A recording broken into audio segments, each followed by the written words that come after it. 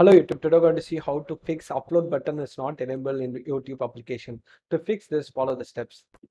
This is always a bug in YouTube. So always it's recommended to go to your Play Store application and then go to YouTube and then always check for any new updates and also enable the auto update.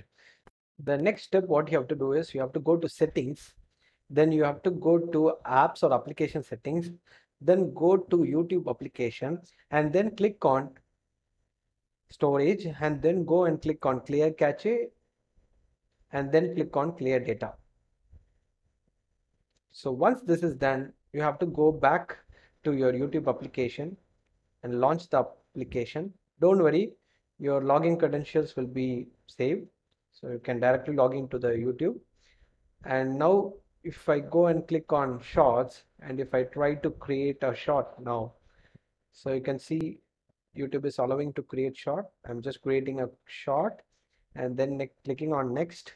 Now you can see this upload button is available.